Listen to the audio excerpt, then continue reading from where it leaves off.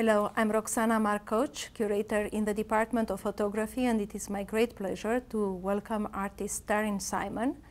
A Living Man Declared Dead and other chapters is currently on view at the Museum of Modern Art. This major and complex project has been done over a period of four years, during which the artist traveled around the globe recording and researching bloodlines and their related stories. Everything from the first woman to hijack an aircraft to the living dead in India.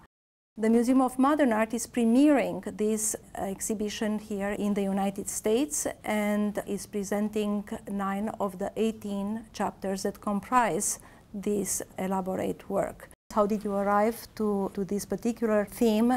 In my past work, I was constantly indexing or cataloging things that had the appearance of being comprehensive. And I kept thinking in this work, where was there an absolute catalog, something that I could follow directed without choice? I couldn't edit or curate.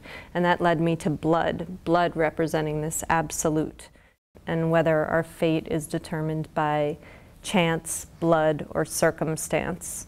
External forces of governance, power, territory, and religion and those colliding with the internal forces of psychological and physical inheritance. I'm interested in the invisible space between text and image, how one informs and transforms the other, back and forth, different forms of translation and transmission.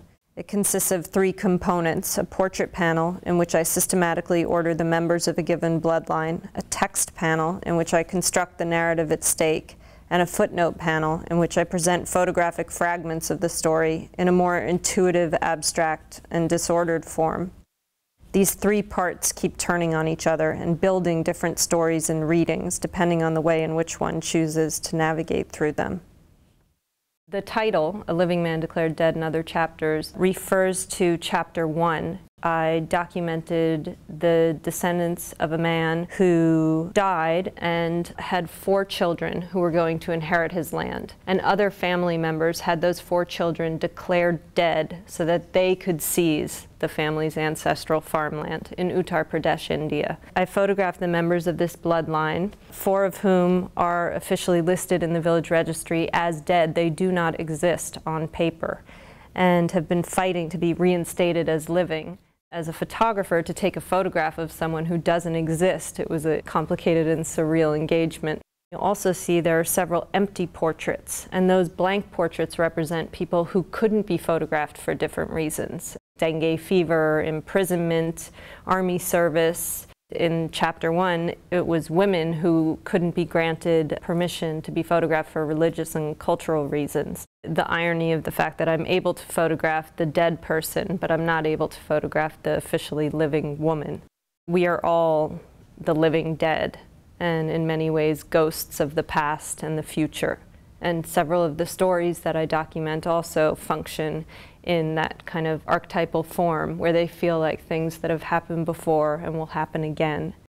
Bloodlines are often used in the studying of disease. In chapter six, I document three bloodlines of rabbits, which are being studied in a government program in Australia, in which they are testing the virulence of a disease that they will introduce into the natural rabbit population if its efficacy is proven.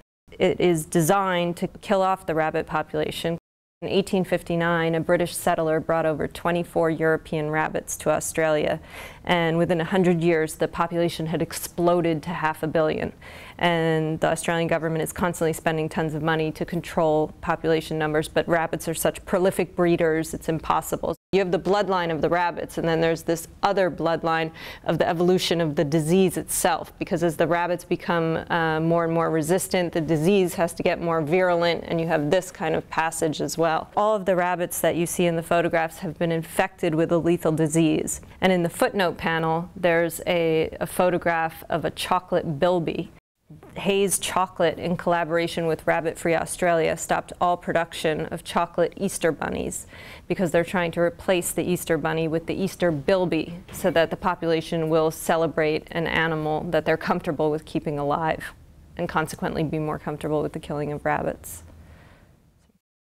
In chapter seven, I focus on the effects of a genocidal act on one particular bloodline, and it's the only piece in which I visually represent the dead, those members of the bloodline who were killed in the Srebrenica massacre, which was the largest mass murder since the Second World War, when 8,000 Muslim Bosnian men and boys were systematically executed.